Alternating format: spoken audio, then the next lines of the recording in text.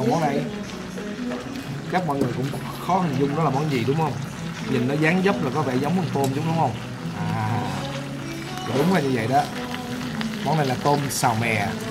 Đó, nghe cái tiếng mà nó, cái tiếng dầu, tiếng tiếng nước nước sốt ở dưới nó kêu, nó gọi là sizzle. Sôi sôi sôi sôi sôi hấp dẫn đúng không nào? Giờ giờ phải ăn thử mới biết nó ngon hay dở. Đây.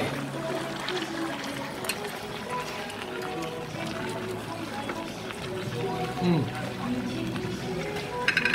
đã từng ăn thử cái món gà sò mè, nhưng mà không không phải. Đã từng ăn thử cái món ớt sò mè, nhưng mà không ngon bằng tôm. Vị tôm nó hơi đậm đà hơn một chút xíu. Bên này là cái món ớt tôm đậm đà hơn.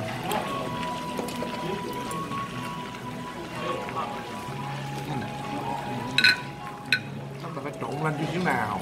Đấy.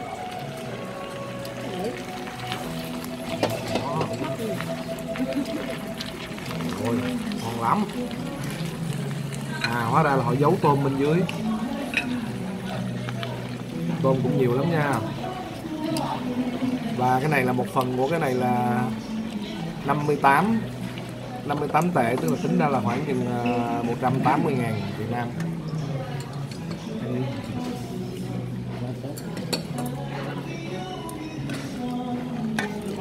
Rất ngon, very ngon.